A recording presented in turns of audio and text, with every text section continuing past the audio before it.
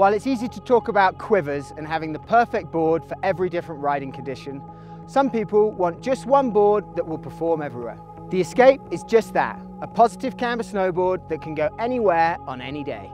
The Ashwood veneer doesn't just look good, it also works with the Vibrak Kevlar inserts under the bindings to reduce chatter and absorb vibrations. Whilst the 30mm setback keeps you planted but won't make going switch a chore.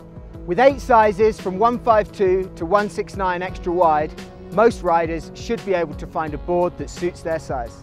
Just as comfortable in the park as in the backcountry, the Escape can handle it all.